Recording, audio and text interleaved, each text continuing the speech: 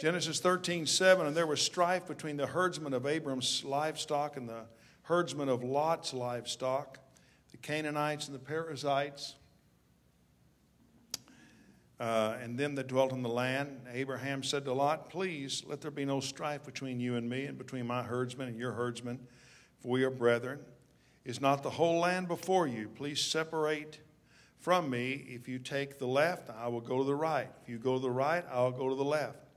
Lot lifted his eyes and saw the plain of Jordan, and it was well watered everywhere before the Lord. Destroyed Sodom and Gomorrah like the garden of the Lord, like a land of Egypt as you go towards Zoar. Lot chose for himself the plain of Jordan, and Lot journeyed east, and they separated from each other. Father, thank you for your Holy Spirit this morning. Touch us in a wonderful way. And everybody said, Amen. Amen. And you can be seated. Amen.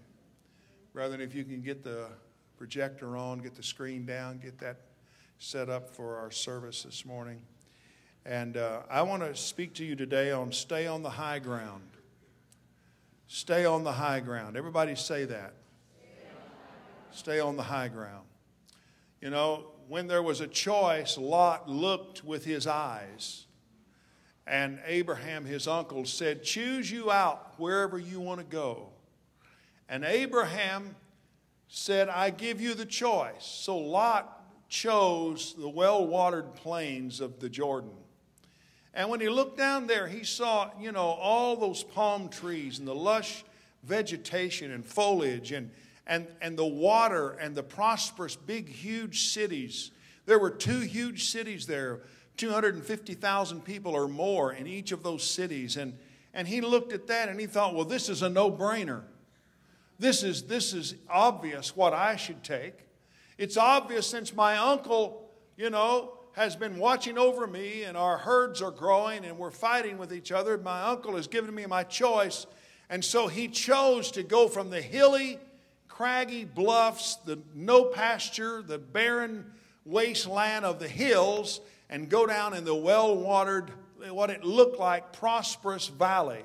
And indeed, it was prospering. Indeed, it was. It says that it was like the garden of God, and it looked so inviting. It was like, this is obvious, this is where I should go.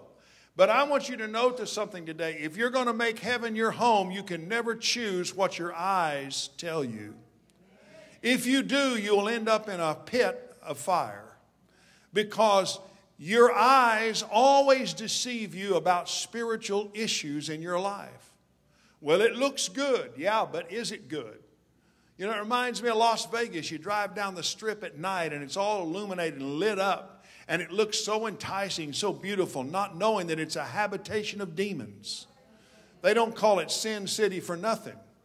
They don't call it Lost Wages Nevada for nothing.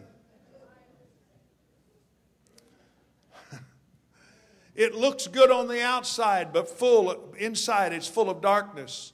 And whenever man uses his natural eyes, when, when Eve used her natural eyes and began to look on what God had told her no about already, her eyes led her astray. The Bible says that the eyes are the windows to the soul. And your eyes, your natural eyes, will never lead you towards God. They always lead us away from God. The Bible says about Paul, he had a young, young man who was with him named Demas. And he said, Demas hath forsaken me, having loved this present world. What happened to Demas, the young man? He was with the greatest preacher of the New Testament, and yet he backslid and went out in the world. Why? His eyes started looking across the fence, and he started looking at what looked like so good. And as he partook of it, he ended up leaving the Apostle Paul. And we don't know whatever happened to Demas, but he went back into the world. The Bible says that Abraham knew something.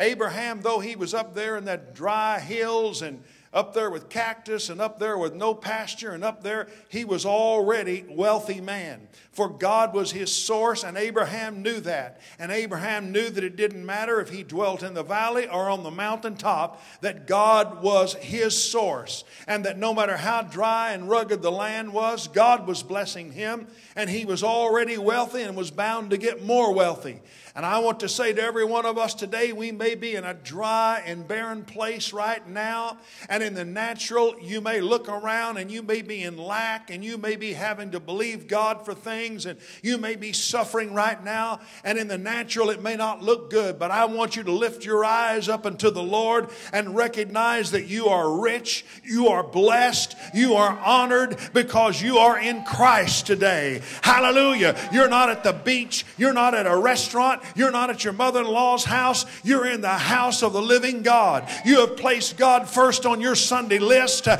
and you are in the house of God. You have felt the presence of the Lord. And even though you may be in trials and testing this morning, God is your source. God is your rewarder. God is your high tower. God is your rock in a weary land. God is your help in the time of struggle. He is your light in the middle of the darkest night. And God is our source. And every one of us are rich in Christ. And we have been seated in heavenly places. And our home is not Bellflower, but it's the streets of Jerusalem having a mansion in heaven. I may be going through trials, but I am blessed of God. I am rewarded by God. I am walking in the divine favor and blessing of God. And no man gave it to me, and no man can take it away from me. There's not a devil in hell that can take it away. There's not a trial or a test that can take it away. Wherever you are, if you're walking with God, you're blessed today.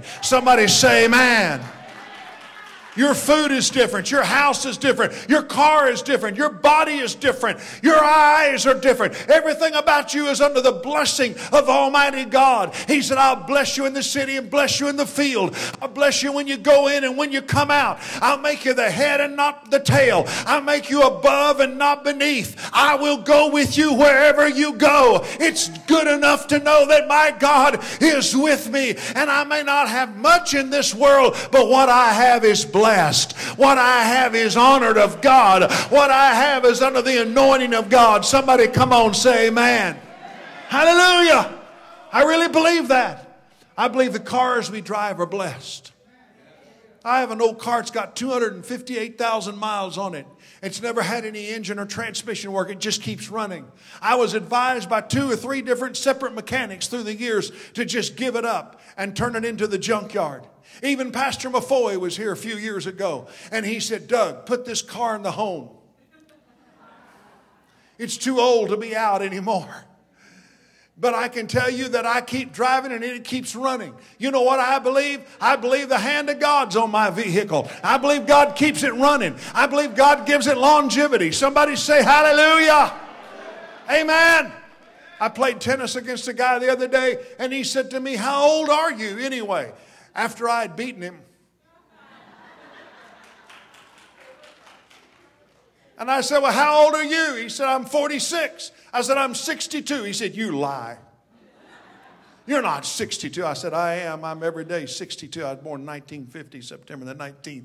He said, I can't believe it. You don't look like you're in your late 40s, early 50s. He said, How did you do that? I said, It's Father, Son, and Spirit incorporated, living on the inside of me. I got God on me. I have God's presence on me. I'm walking in the light as He is in the light. And we have fellowship one with another. Don't tell me living for God doesn't pay off. Don't tell me there's no advantages in serving my God. My God blesses his people. He blesses us. He blesses our basket. He blesses our store. Somebody say amen. I believe that. Amen. Abraham knew something. He knew God was his source. And Lot chose a tragic choice. He chose what his eyes saw. Let me tell you, your senses, your five senses will never carry you into heaven. You better learn to crucify your flesh and quit giving into it. Somebody say amen. Well, he's so good looking, I just can't help it. Oh, well, you need to pray. You're being led by your hormones, not the Holy Ghost. Amen. That's right. But do they walk with God? What's their relationship with God? When I was a single evangelist for five years traveling, I had all kinds of women wanted to date me. In every church, they lined up. People got saved. I always got women saved. Amen. People got women got saved. And, uh, you know, they weren't getting God, they were, they, were, they were seeking after me. But when I was looking for a wife, and I saw my wife the first time, I said, Ooh, that looks nice. I like that merchandise there. But I asked my aunt, I said, What kind of relationship with God does that Brenda girl have? I said, I like her looks, but I, I'm not going to go out with her unless you tell me what, what is she like. And my uncle said, Oh, listen, of all the girls in our church, she'd make the best preacher's wife. I said, Why? She's always in church. So her mom and dad miss a lot, but she's faithful. She, if her mom and dad get up and say, We're not going to go, we were at the, you know, at the weekend with it, out at the boat too long. We're not going to go to church. That she gets those little brother and sister up and takes them to church. Said she teaches Sunday school class. She sings in the choir. She's always in the altars. I thought, now I'm interested. Somebody say, man. I was being led by the Holy Ghost, not my hormones. Well, I was being led by both my hormones and my Holy Ghost. But keep the Holy Ghost in front of the hormones. Somebody say, man. Come on. Hallelujah. And I want you to know that you can't find God's will with your eyeballs. You got to have to find you have to have spiritual vision. And Lot, it wasn't long till Lot had lived there and he was carried away captive by four kings that raided Sodom and Gomorrah. And what did Uncle Abraham do? He mounted up a posse on a bunch of horses and camels and took off after them. Can you imagine the audacity of that? I thought about that when I read that and studied it. The audacity of one man to go after four kings that had raided that city and carried off the plunder. What a guy! What a guy! What a guy! He, he had the audacity to go after four kings that had raided, and he went and he captured Lot and brought him back. And I'm going to tell you that is a picture of a man that stays separate out of Sodom, keeps himself up high on the hill, stays in the high places with God. And because he's in a high place with God and he has a clean conscience and a clear heart and an anointed soul, he can rescue those that are down in Sodom being, being tormented and captured and carried away captive. Because Abraham carried away uh, his nephew Lot and brought him back. He brought him back. And folks, when we stay on the hill and we stay separate from the world and we stay holy unto God, we have a prayer life. We can go in the spirit world and capture the powers of darkness. We can capture sons and daughters uh, and nephews and nieces uh, that have given themselves over to the low life and they're down in the valley in the slums. Uh, but we can go by the Spirit of God and capture them and bring them out of slavery. God is looking for intercessors today. I said God is looking for intercessors today. You can't bring anybody out of sin if you're in sin yourself. You can't bring somebody out of Sodom if you're in Sodom. But if you're up on the hill with Abraham and you're trusting in the living God and you stayed out and away, somebody say amen. I'm going to tell you, we are known as Christians not as much for what we do, but as what we don't do. Our lives are to be separate from the world. We're supposed to live different, act different, walk different, spit white. Somebody say, man. You got a can of Skoal, you need to bring it to the altar this morning, lay it on this altar, and let us anoint you and pray for you, and you can walk out of here. And the only thing you'll ever chew again is bubble gum. It'll give you cancer in your throat and cancer in your lips these kind of habits, these kind of things. Somebody say amen. We're supposed to be separate from the world. We're not supposed to act like they act. There's got to be a difference in the life of the Christian. There's got to be a difference today. I don't care if it's popular or unpopular. I'm going to preach it to the day I die because he said, Be holy as I am holy. Come out from among them and be separate, saith the Lord, and touch not the unclean thing, and I will be your God, and you will be my children. Young people, you don't have to sell out to a world system that's gone down into Sodom and Gomorrah. I'm telling you, you can rise up by the Spirit and come out on top of the hill, and your light can shine in darkness. There is a difference in the people of God and the people of this world. There is a difference in those that walk in righteousness and those who walk in the world. There's not just more, there's more difference than a bumper sticker and a Jesus pin on our lapel. There is more difference than even carrying a Bible. There is a life that has been radically changed and transformed by the power of Almighty God. Somebody say amen for this today. Come on, give the Lord a hand clap. Amen. Hallelujah. Abraham was able to rescue Lot because he wasn't down there in Sodom. Hallelujah. Stay on the high ground. Don't get tired of the disciplines that God has placed in your life. Jesus promised you you're going to have to be disciplined. He said you'll have to take up a cross and follow me. He promised you warfare, like our sister taught this morning. Warfare is a natural part of living for Jesus. The devil hates you. I'm glad the devil hates me. I'm glad he opposes me. I'm glad he slaps me upside the head. I'm glad he whispers in the night. I'm glad he wakes me up out of a sleep and tries to throw demons at me. It's good for me to fight the devil because I learn how much more powerful the power of the Holy Spirit is than the powers of darkness. Uh, we got to quit being intimidated and afraid of the devil. Greater is he that is in you than he that is in the world. When is the church going to rise up with the anointing of God and tell the devil, shut up and sit down and make the devils leave us alone? Instead of running and hiding from them. Amen. Hallelujah. Stay to the high ground. Don't get tired of the disciplines of the life that God's called you to live up high. Up in, up in the high place is protection in, with God. Down in the valley, there's danger. Up high, there's anointing. Down in the valley, there's slavery and oppression. The Bible says that Lot vexed his righteous soul from day to day with a filthy conversation of the wicked of those twin cities. He was vexed every day with the filthy conversation. Today, we are sinking in a sea of self indulgence where self has become God. We need to go back up to the high places. Hallelujah.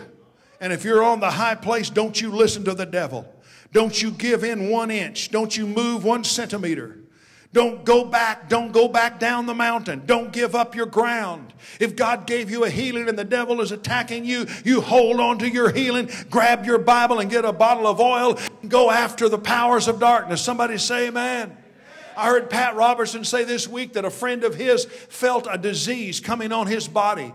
And I'm not sure which, which it was, but there was a, a, a disease and he could feel it trying to manifest in his body. And he said he anointed himself with oil and he told the devil, I refuse this disease. I refuse its manifestation in my body. I refuse its right to exist in my body. I am given over to God and my body is the temple of the Holy Ghost. And devil, you're not putting this disease on me. I refuse its cause and effect in my life. I refuse its manifestation. And he said that spirit of that sickness left his body. I tell you, there's a lot of sickness that is demonic inspired and influenced. And greater is He, the Holy Spirit living on the end. You need to rise up and let the power of God flow out of your life and throw off those spirits.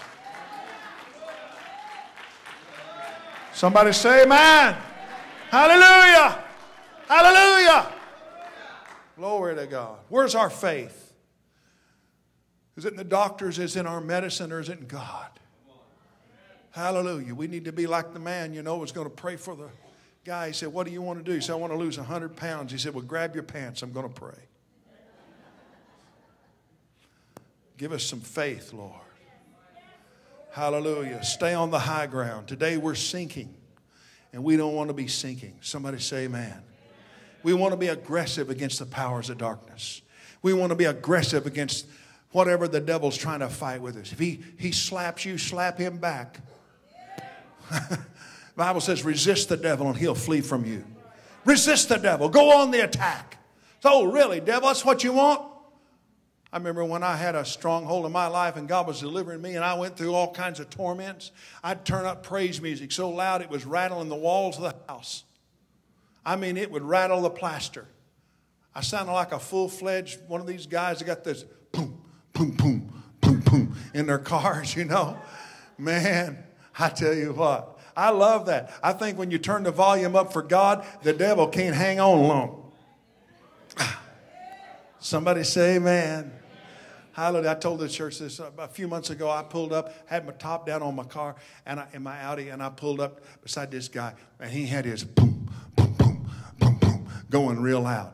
And so I had on some Holy Ghost praise music. I think it was Sister Linda's CD she gave me of the, the guy in Kentucky, and he was singing and screaming, and they were playing real fast Holy Ghost music. And so I just turned that, it's a Sony stereo in that thing. And I thought, you know, I never have checked this thing out to see what it'll do.